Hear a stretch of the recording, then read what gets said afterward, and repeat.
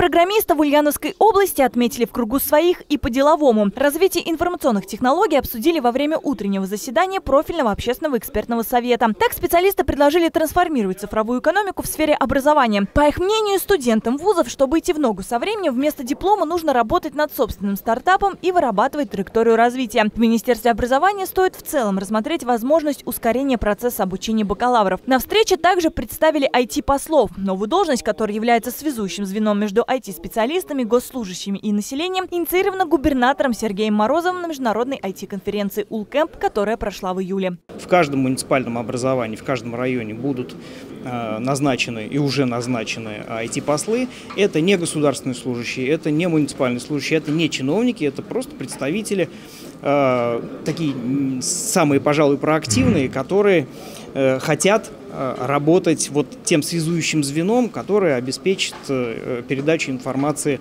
э, населению и нам обеспечит обратную связь. Ключевая цель IT-послов – знакомить с новшествами мира информационных технологий и популяризировать их. Говоря профессионально, налаживать коннект. Делать это будут с помощью уроков безопасности полезного интернета. В поле их деятельности также войдут консультации, обучение по компьютерной информационной грамотности населения, проведение дня открытых дверей по получению услуг в электронном виде. IT-посла назначает глава администрации района, либо он выбирает решается посредством голосования. Пока только был утвержден план работы IT-посла, а, будет вестись активная работа, начинаться только а, с конца сентября.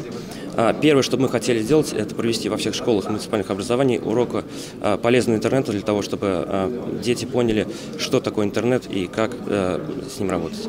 На Совете почетными грамотами, благодарственными письмами и медалями наградили представителей IT-отрасли. Среди них оказались и четыре школьника, победитель и призеры чемпионата по программированию. Темой летнего сезона чемпионата стало программирование роботов. Это одна из самых сложных номинаций в турнире, так как задачи сильно отличаются от традиционных задач спортивного программирования. Ежегодно в турнире принимают участие около 800 школьников, начиная с 7 класса. Беспристрастное жюри, то есть этот чемпионат отличается тем, что там э, задачи проверяет программа. Ребята пишут код, отправляют э, на сервер, и сервер э, выставляет баллы. То есть здесь исключен человеческий фактор. По итогу летнего сезона лучший алгоритм действий для робота составил ученик лицея при УЛГТУ Андрей Сандемиров, юноша, представитель династии программистов. Была задача, например, довести робота из точки А в точку Б.